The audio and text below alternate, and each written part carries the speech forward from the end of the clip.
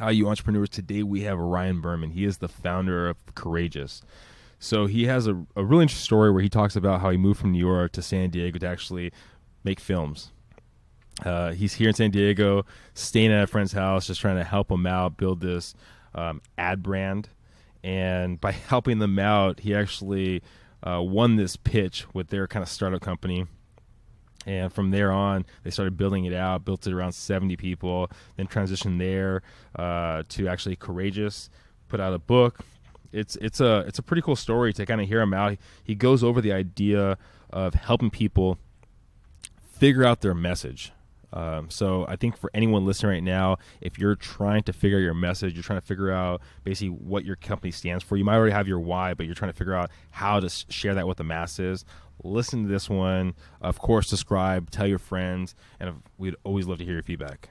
Thanks, everyone. Welcome to the road to growth, success of an entrepreneur. We've raised the bar. Learn firsthand from successful business owners and create your own path to success. I'm going to show you how great I am. It's time to hit the road to growth with real estate agent Vinny SD. All right, so we are here with Ryan Berman, uh, the founder of Courageous. You own a business also too, part of the Courageous brand um, and you do some coaching, kind of help people reinvent themselves. Kind of, there's a lot of stuff to, to unwrap right there. Let's yeah. let's just get into it. Sure. Yeah. Hey, by the way, thanks for uh, just so the, the, the audience knows, uh, Vinny came to me. So I, I, appreciate that he he he hauled all the way up here to North County. So I, thanks for coming up here. Yeah, no problem. Uh, so yeah, it's been a quite quite a ride. It's uh, where where do you want to start? Well, well, you're talking about that mini win right there that, that you got. You have a event coming up in January. I'm not, the the pla- the podcast should be out by then. Yeah, but yeah, I'd love to talk about that. Off yeah, I mean, so so I guess in, uh, I think to set it up and maybe create a Scotia of a cliffhanger. Yeah. You know, my background. I mean, I, I'm a I came out of the advertising arena. You know, I learned that back in '98 in New York City that um, courageous or creative business ideas was what we were trying to help companies achieve and form. And after doing that for seven years in the city, um, I moved out to San Diego, thinking I was uh, coming here to write movies, uh, not live one. And uh, literally, the very first month after being here, was presented an opportunity to open up my own first uh, creative ad agency. This is back in gosh 04. Uh, we were four people out of a house, really had no idea what we were doing. And I, I wonder if anyone really does. I know as a guy that went to television radio school, and had taken like four business classes, like probably the least qualified person. So, so did you move to San Diego with those other three other people? No, no. I moved here. The deal was, um, so after 9-11, I had a very good couple friend from the city that were like, "We're out of here," and so they were like, "Where can we go where we can be happy?" they chose San Diego. Shock. Um, the the woman was a very talented strategist and she needed help. So the idea was I was going to live rent free in their house and help them position the company, um, the company she was at. And the, she was trying to turn a photography studio into an ad agency, uh-huh. and so I was like, "Okay, here's what I'll do. I'll I'll come out, uh, you know, pay me a little bit, but really let me live rent free and write movies from the beach, and I'll help you on the side." And and you know, I move out here, and it's like a weekend and they have this big pitch and I'm like, what are you guys doing for this? They were like, I wouldn't do it this way. I would try this. Um, next thing you know, I'm like living at this photography studio. Uh, we're a week away from the pitch, and the pitch is in New York. And the photographer's like, "What? You guys? I'm not flying you out to the pitch." I'm like, "Well, if, if we're not there, there's no way we're gonna win the business." So I end up paying for the team to go, and um, in the room, we we basically crushed it, and the to the point where the CEO turned to the head of marketing, like, "What do we need that other partner for? Let's use these these guys." Um, and the CEO pulled us aside after and said, "If you guys like knock this project out of the park, we'll we'll give you we'll give you the business." Well, at the point, it was pretty much just me, the strategist, one other person, and a designer, and uh, we, we we nailed the project and uh, ended up resigning from the photographer who wouldn't fly us out to the pitch, and that's how our first company started, which was oh. called Fish Tank. So again, it wasn't like I'm so smart and there's the white space and here's my business plan. It was literally opportunity, um, you know, a couple brains, computers, let's see what we can do. And um, But this is so. This is 2011. this is 2004. 2004. So literally, I'm, so the idea from the, the from the first week of landing in San Diego to the first month, I went from I think I'm writing movies from the beach to what's an LLC, and like creating a corporation. And um, you know, um, the amazing thing is, seven years later from that, we we I ended up buying out her, buying out a partner. Uh, ended up merging the company with another, grew it to 70 people, um, which is now today known as IDEA up in uh, downtown San Diego. Awesome stuff. And um, I, I'm- I'm getting to your actual question, which says this could be a long podcast, but. Um, you know, my plan when we when we finally got to seventy people, I felt like it was the first time I could I could be on the business, not in the business, Yeah. right? And that was when I started looking at courage and the concept of wow, really the the thing that's the big differentiator is the courageous idea. Um, and then when I kind of looked further, I was like, wow, there's no way you get to a courageous idea without a courageous leader. Because it's the courageous leader that creates courageous leaders, and then that's what empowers a courageous culture. And then hopefully you get a shot at courageous innovation and courageous ideas. So this thing that I thought was super narrow at first turned out to be absurdly wide, and it grabbed me because when I, although I didn't realize it at the time, almost every decision that I feel like I had made over the last 15 years was the courageous one. I just didn't have awareness of it. Um, so you fast forward to what turned into being a book, which is called Return on Courage, came out in January. And um, what's come from that is like a ton of speaking opportunities. The big joke is I wrote the book to position my last company, and it, it gave me the courage to fire myself and to move on, and uh, and to start courageous. And so now, courageous. There's a leadership side of it. There's a there's a marketing side of it. Um, there's a training side of it, and it's really helping companies reinvent themselves. So, in January, this is the conversation we were having right before. I just got word that I'm um, the keynote speaker at a fairly large event in New York City in, in January.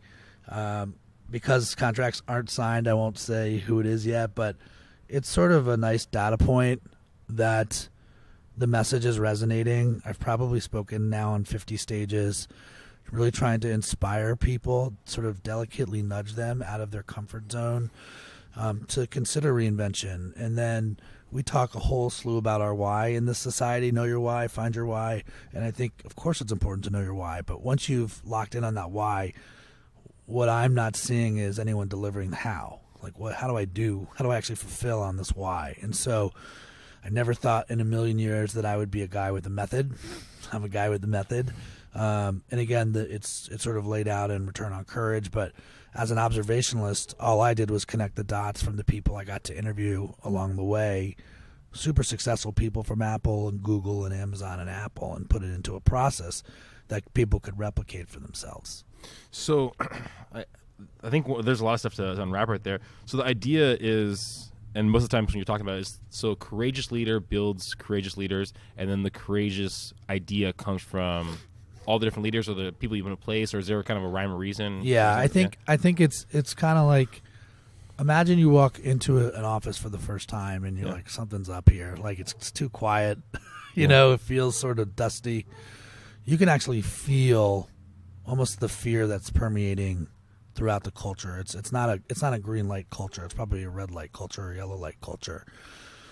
Or you walk into another room and you can feel the energy. You can feel there's music playing. People are maybe it's an open floor. People are smiling. People are, are actually walking around, and usually maybe that's a green light culture. And what I've learned is that you know there's some cur- uh, some cultures where fear really runs the roost, and I believe fear breeds fear.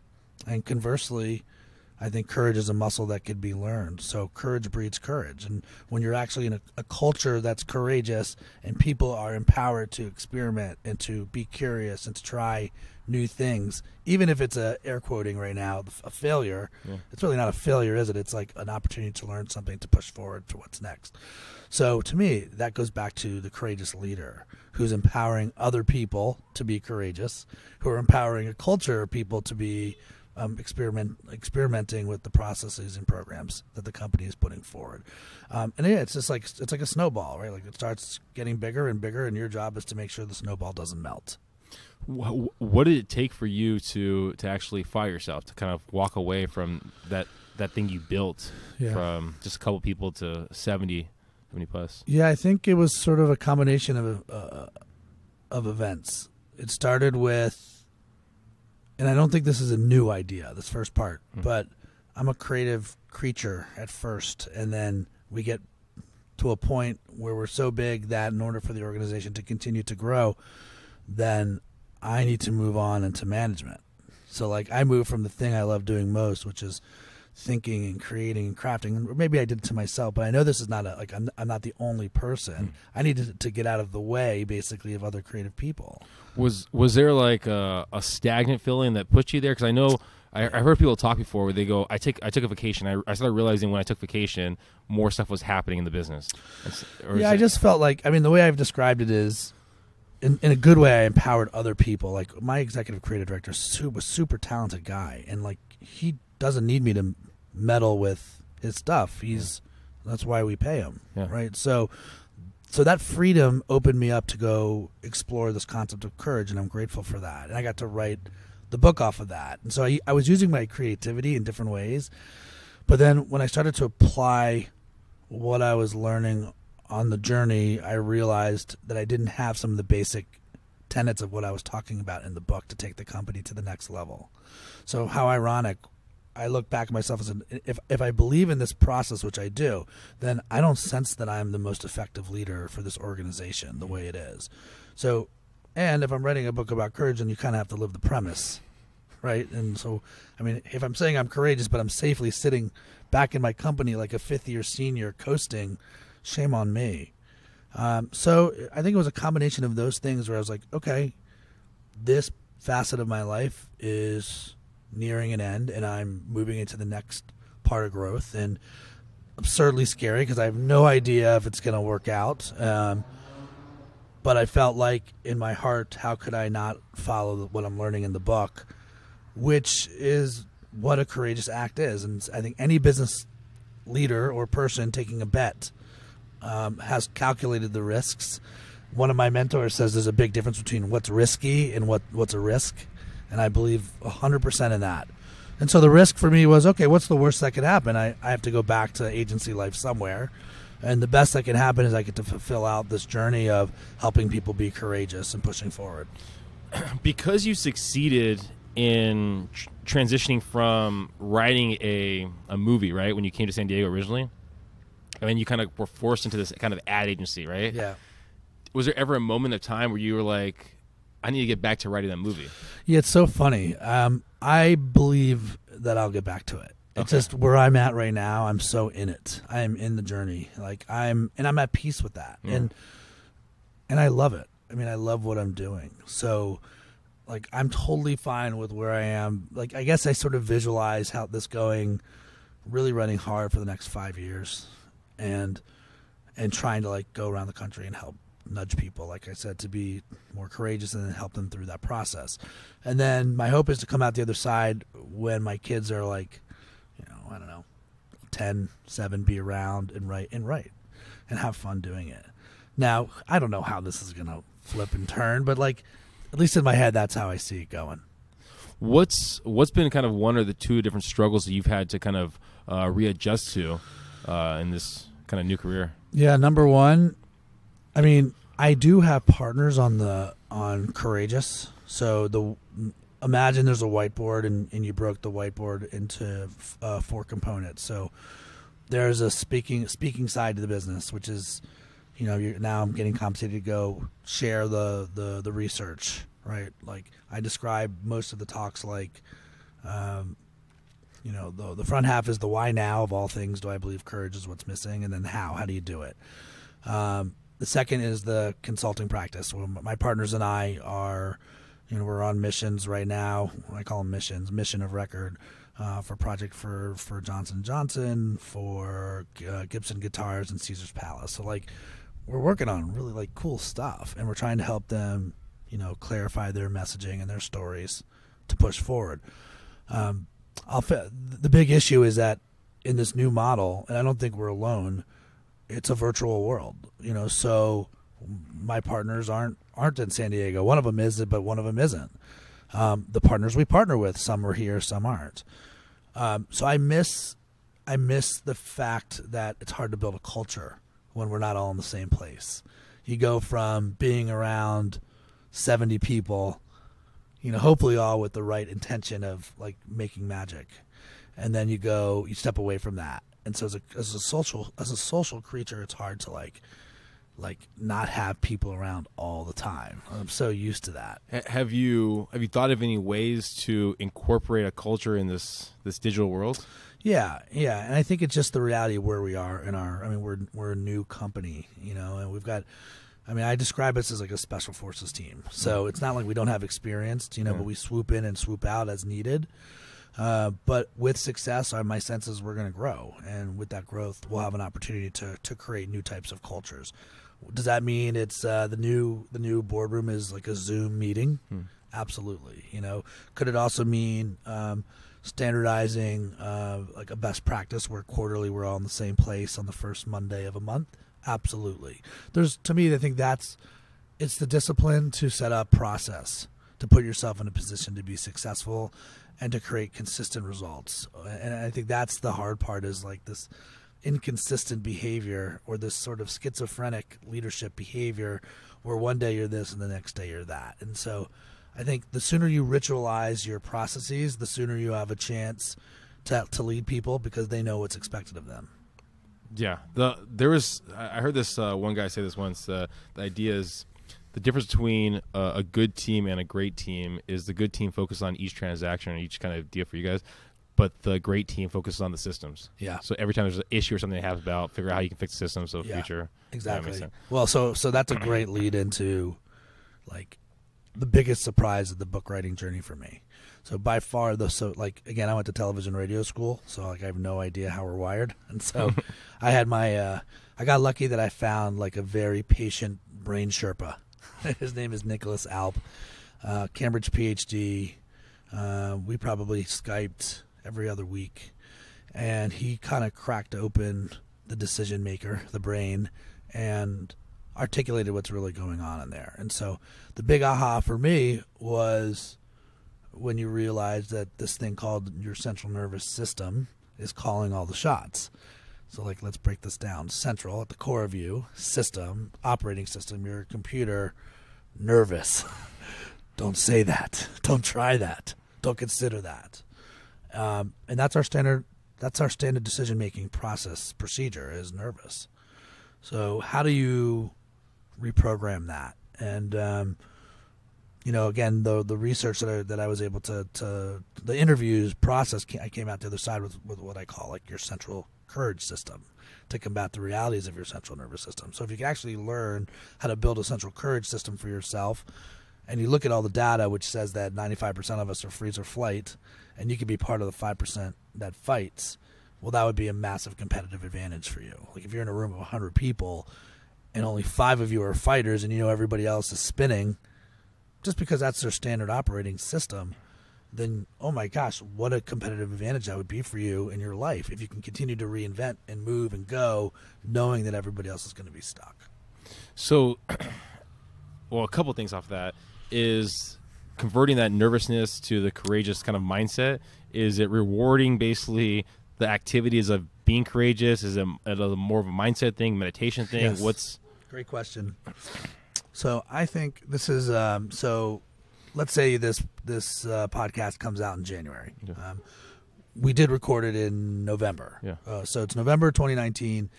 Almost every company on the planet has probably gone through some sort of planning for 2020. So so they spent a lot of time on goal set.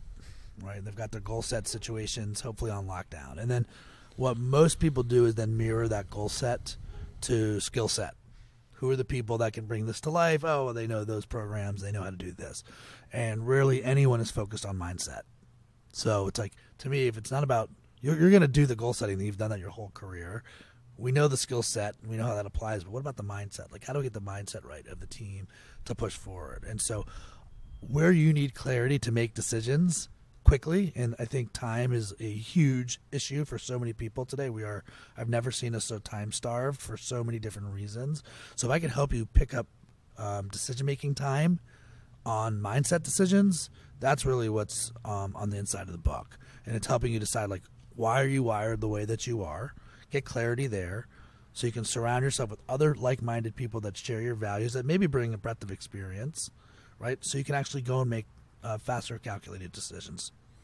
So, besides that, that kind of that one hurdle of um, the culture and so on and so forth, has there been any other things that you've had to look at and kind of reassess yourself from? Maybe even even back in the day when you were coming from the the, the film institution kind of thing, the college, and then to, Well, I mean, yeah, let's we got to go way back. So you know, this is this is the uh, like the Oprah Winfrey part of the show, which is I think what you want, right? So, so growing up, my the I older brother, Yeah. and he's four and a half years older. And like, if I was ever on Who Wants to Be a Millionaire, he's my phone call by four by far. Like he's he's off the charts.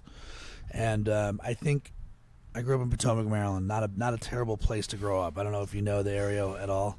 no, No, Sorry. I mean, it, the the only way to possibly describe it is it's uh, Darren Star who created uh, Beverly Hills 90210 is from Potomac, Maryland. okay. Okay, I'm pretty sure the the original show title was 20854. Okay, you get the idea. So we grew up in a, in a part of town where we where we had the luxury of not being like in true Maslow country. Um, mask on the the the addition that I had an older brother that was sort of the chosen one, smart.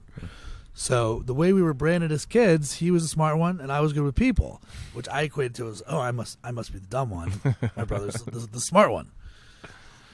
So this is what's been I've chosen to have stuck on my central nervous system from the beginning. It's a story I made up and told myself is that he must be the smart one and I'm I must not be the smart one. And and when you live in a three car garage family, how and you're told that you're supposed to do better than the last generation and you are competitive, it's it's hard to think like, well, how am I going to do this? Like he got all the opportunity uh, and now again this is in my head this isn't the truth and like how am i going to overcome all this? So now looking back on it i laugh because it, i am good with people. Like it actually is my super skill is to be a good listener and like really understand what people aren't saying when they're talking. Um, i always like to say hear what's not being said and then try to smoke that out and bring that out and bring that to the forefront. And i think once i sort of embraced that part of who i was not only to like allow me to breathe and smile, but it allowed me to be who I am. Um, and look at the situation I'm in now, where what am I really doing but connecting with people? You know, whether I'm on a stage of 100 people, 500 people, having a one-on-one conversation with you, like my my only hope is like, am I getting you to think just a little bit differently about the situation that you're in? You know, to move you forward. Uh, it's worked for me, you know, and so, and it doesn't mean that just because it's working for me is going to work for you exactly that way. But like that's just the journey that I'm on. And I think this is since we already sort of dropped other things we've talked about before this conversation. I think that's the philosophy part. Yeah. Right? That's the part where you're going, wow, it's amazing how we're all on our own version of this this world. We're all doing our own journeys, trying to figure it out for ourselves, and what's gonna work for you may not work for me. But like, I'm rooting for you, and I commend you for like the things that you're doing as you try to press forward. You mean this is uh, usually the part where I kind of ask the idea of what would you say to your younger self? I think you you you encapsulate a lot of that stuff you'd already kind of say right there. Is there anything Yeah. specifically that maybe someone listening that that might feel that they're not as good as maybe their their peers or their sibling or whatever it might be like? Yeah, I'll tell you. So I have a six year old son and a four year old daughter. And so I wish someone would have said this to me when I was like their age. I say it to them all the time. But uh, but I think it plays perfectly here. And it's when you compare, beware. You know, and it's hard not to compare. But I think when you compare, beware. And you have to find, like, again, this is why I think clarity is so important for yourself. We spend so much time scrolling social media versus scrolling ourselves of what's important to us. Um, and when you can sort of create your own barometer or north star for success for yourself, you're not looking around at everybody else. Then I think you can stay focused on the things that you want. Uh, it doesn't mean you're, you know, we're all human. You're going to, of course, sort of like set barometers from what you see of other things out in the marketplace. But, you know, my my younger self was comparing myself uh, to to my dad or my or my brother even, and I didn't have the context even to do that, frankly, until way later in my life. Um, and now I'm grateful for sort of like the makeup of me that came from my parents. I've got my, my father's grit and savviness, and I've got my mom's tact and sweetness, and try to bring that forward in all the, the work that I'm doing. What's uh? So what's next? What's next for yourself? What's next for the brand? What's Yeah, I mean, I'm I'm so in it right now. Like I'm, I think it's just to continue to get the word out on what we're doing. That we think that people should be more courageous. That companies need to be more courageous. That it doesn't mean you have to be the CEO to be a leader inside an organization to be courageous and to unlock it. And I just want to continue to go down this path um, and help people unlock their teams or reinvent their businesses. Uh, we do have our Courage Boot Camp, which is an eight week online program. It's really like an hour a week, frankly, um, recognizing how time starved everybody is, but just trying to democratize training. Um, when I talk to HR professionals, it seems like almost all of their time is on recruiting, not on retention. Um, and when you retain the wrong people, that's not good. So it's pinpointing which people they should be keeping, and it's also helping leadership uh, basically see how off they are on what they thought the problems were inside their organization versus what the problems actually are.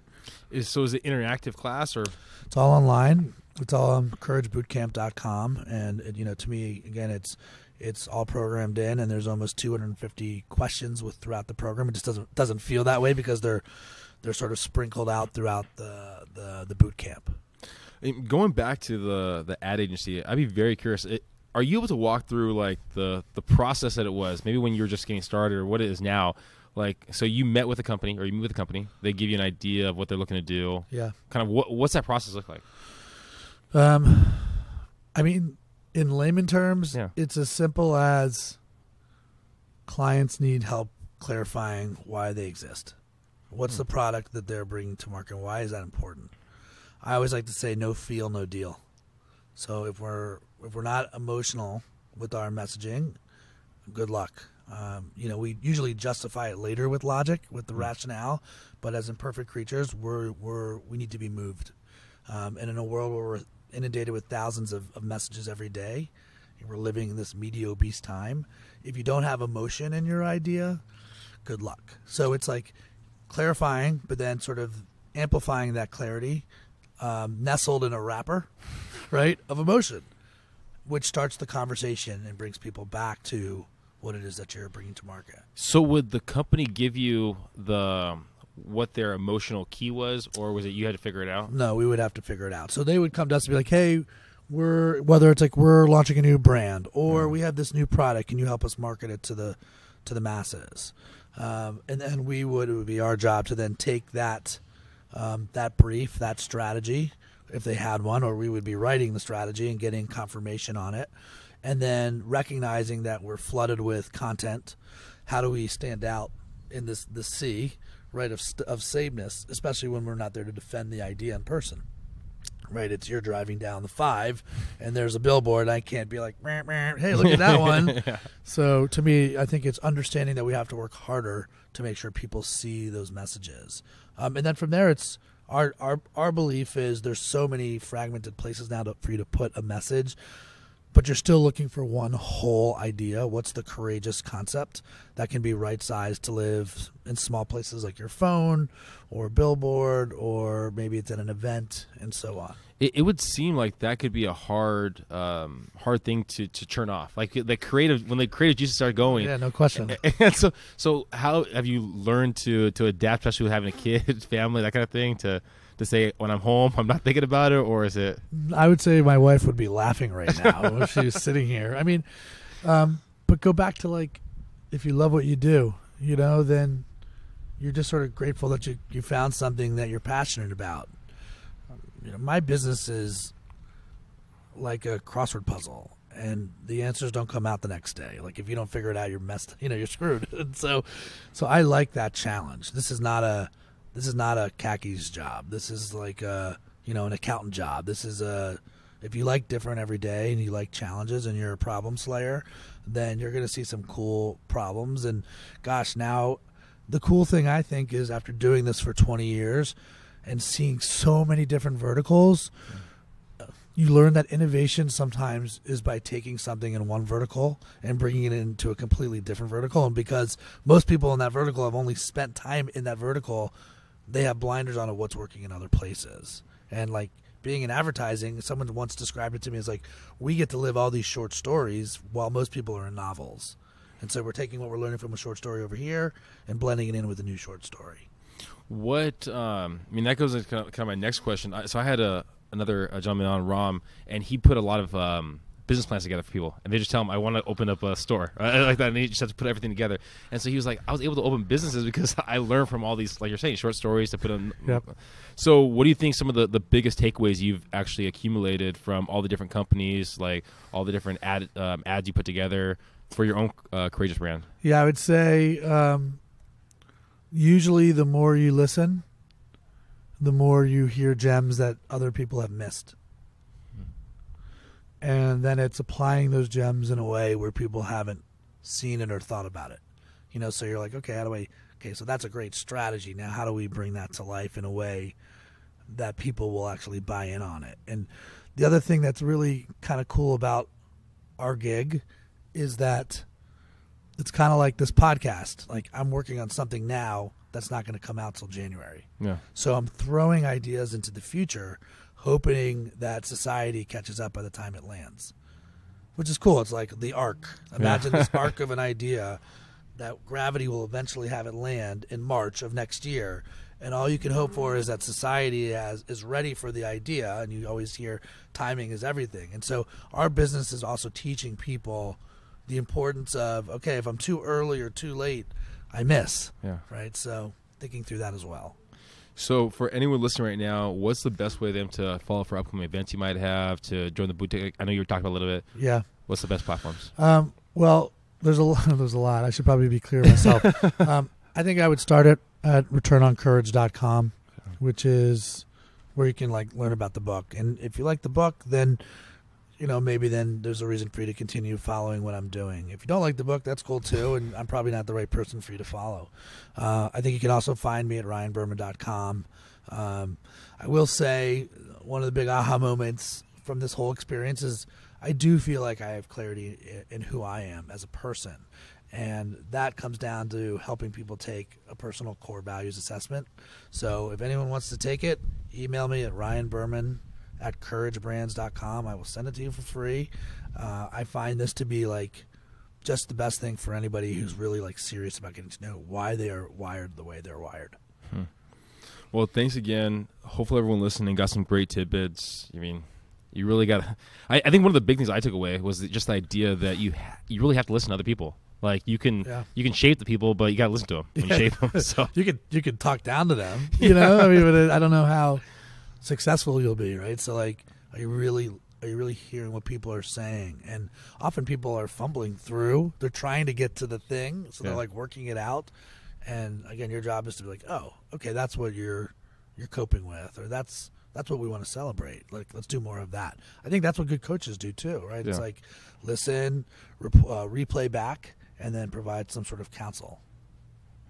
Well, thanks again, Ryan. Um, everyone listening, please subscribe, please share, uh, get Ryan's book, and, and follow him. Thanks, guys. Thanks, everybody. Thank you for listening to The Road to Growth Success of an Entrepreneur. Please like, subscribe, and stay connected. Visit www.vinnySD.com. Yeah, I created a website. Hope to see you again next week. Team Vinny SD signing off.